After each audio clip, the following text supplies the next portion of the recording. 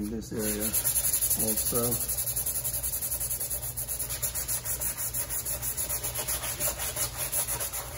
And I want to pay special attention to these portions of the hood, especially around here, on the inside, because really these are the areas that you see most when you uh, when you open the hood. Again, this is not a show car. Everybody who's been following my my blog, my Instagram knows that. But there's that's no reason not to really try to make it look as good as possible. I just like the um, kind of the original factory look, the sheen those parts had. So that's my, my whole thing is trying to emulate that. And uh, to do that to the best of my ability without really going overboard. I think yeah, Eastwood used to sell an underhood black a few years ago, but uh, I looked on their website and they didn't they didn't really have it. So I don't know if they discontinued it and uh, it got replaced by that uh, 2K, I think it's called, the epoxy paint, which would be great, really.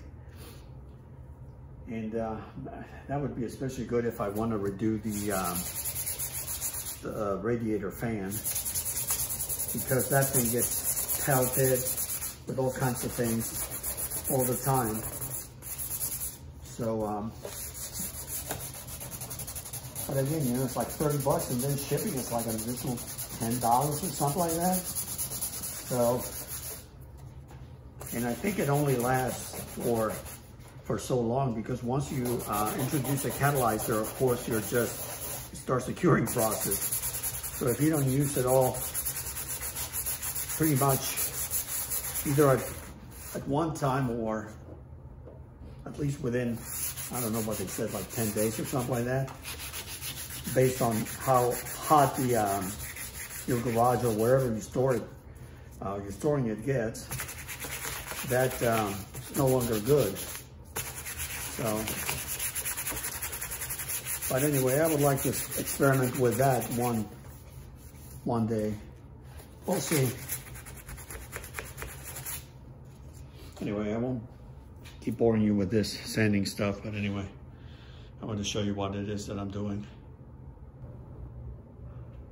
It's been about two hours sanding, cleaning, a lot of this paint It's probably most of it that I applied when I wanted to kind of cover up some of the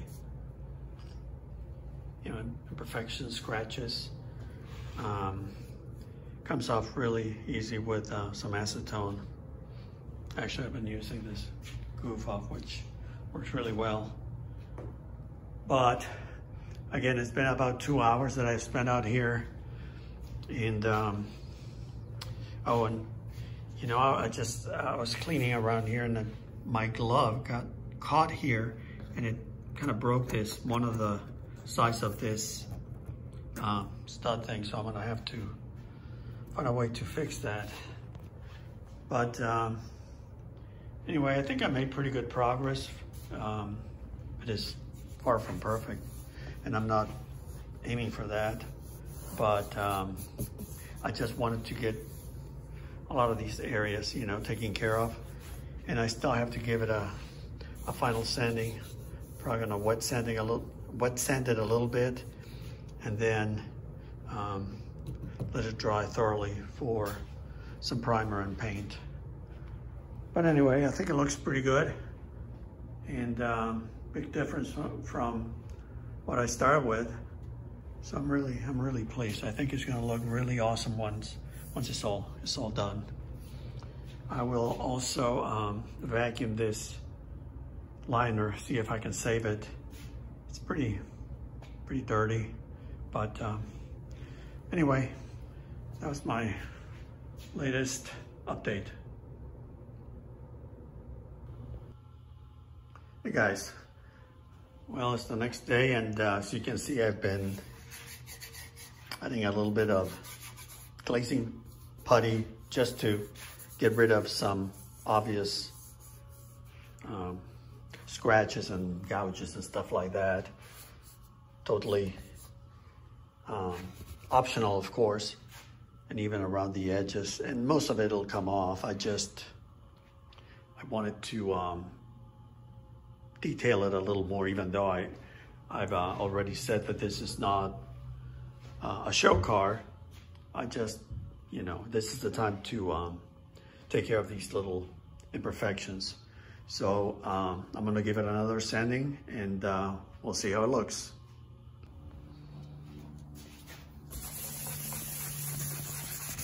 I'm just doing a little wet sanding here.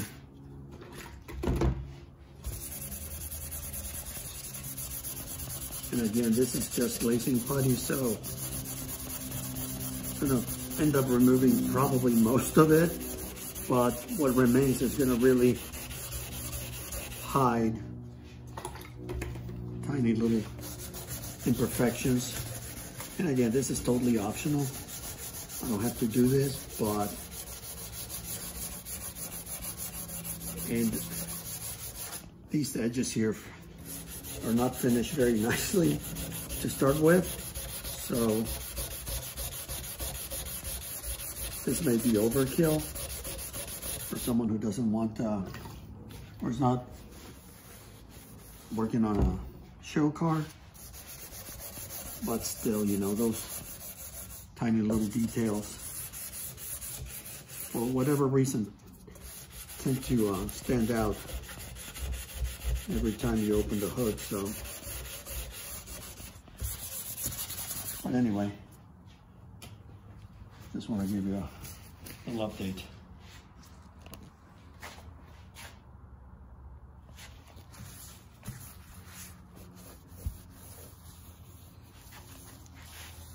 I'm going to keep sanding this ledge. It was just really ugly, and I think, well, I know that paint is not going to hide that. So might as well just take a few extra minutes and uh, make it look as good as possible. And even places like this, you know. Again, it's an improvement over what was here before, but uh, you gotta also know when to stop unless you're looking for a perfect edge, which is something that I'm not looking for. But anyway, that's it for now. Okay, so quick update. I wanted again to show you what I start with. I'm very kind of generous when it comes to the uh, glazing putty. And then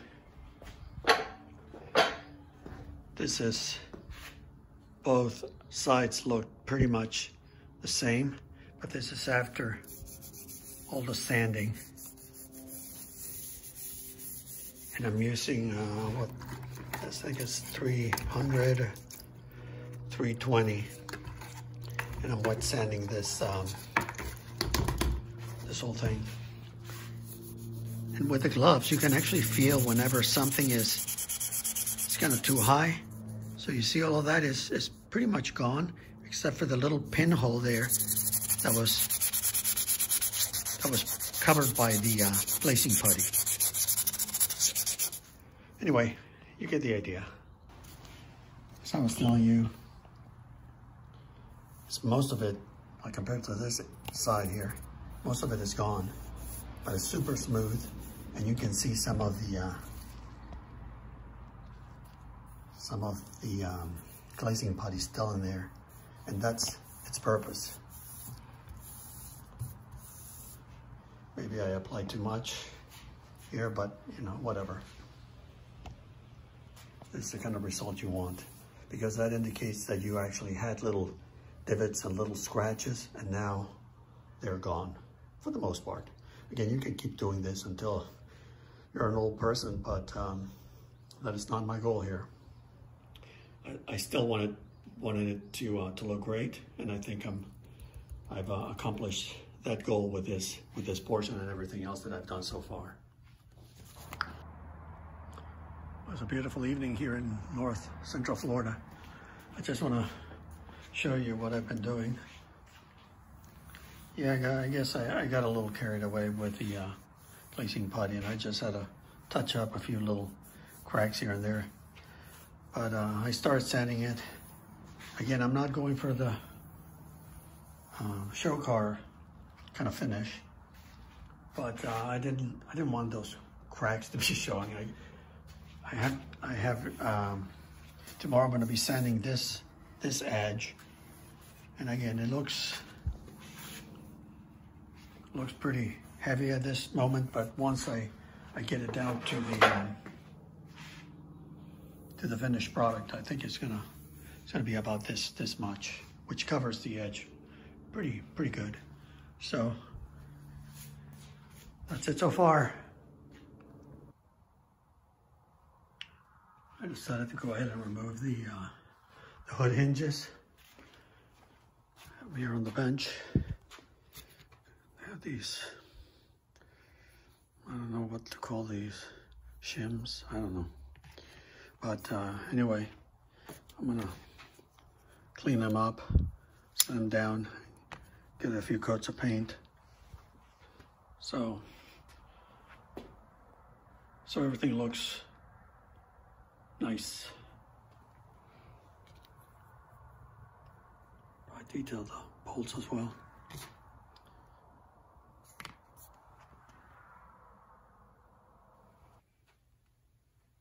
I spent about an hour cleaning the hood hinges to the best of my ability. These things were caked with dirt and old paint and overspray. So I think I'm gonna paint them. Give it a few coats of, of black. They'll be ready to be reinstalled.